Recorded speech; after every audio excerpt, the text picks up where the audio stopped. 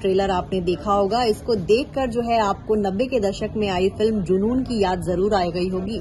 क्योंकि उस फ़िल्म में थे राहुल रॉय और पूजा भट्ट। वो फ़िल्म बहुत ज़्यादा हिट नहीं हुई थी। फ़िल्म के गाने हिट हुए थे।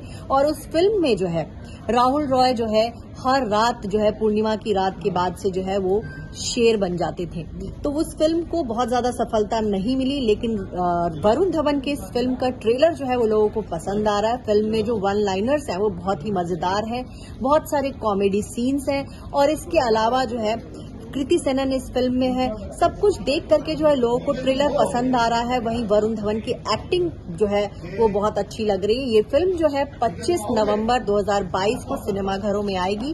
खास बात यह है कि इस फ़िल्म के डायरेक्टर हैं अमर कौशिक, जिन्होंने स्त्री जैसी फ़िल्म बनाई। तो वरुण के फैंस को इंतज़ार है उनकी एक और ज़बरदस्त फ़िल्म का।